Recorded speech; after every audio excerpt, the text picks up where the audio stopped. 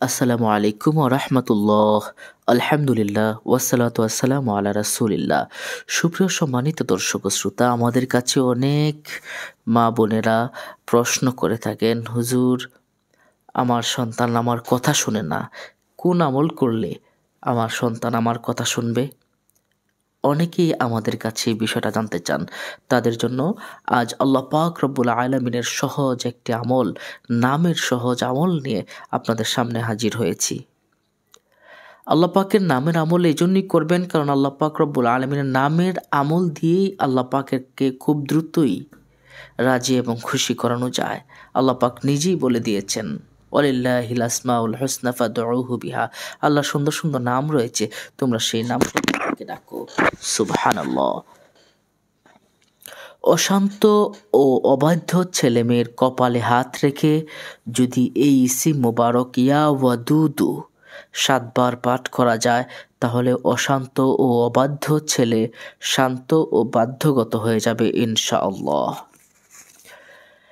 এছাড়াও যদি আপনি আরেকটি আমল করতে চান, তাহলেও এই আমলটা করতে পারেন যে সমস্ত ছেলে মেয়ে, বেনামাজি এবং পিতামাতার অবাধ্য।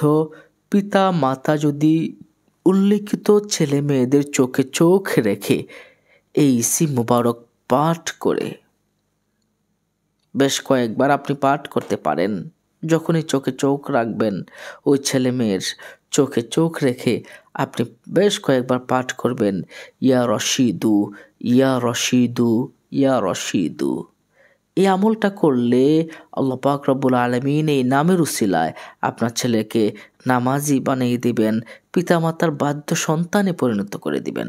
আপনার সন্তান ভালো হয়ে যাবে ইনশাল্লাহ স্বভাব, চরিত্র একদম মহৎ, সৎ হয়ে যাবে ইনশাল্লাহ আল্লাপাক এই নামের উসিলা তাকে ভালো পথে, সুপথে পরিচালিত করবেন।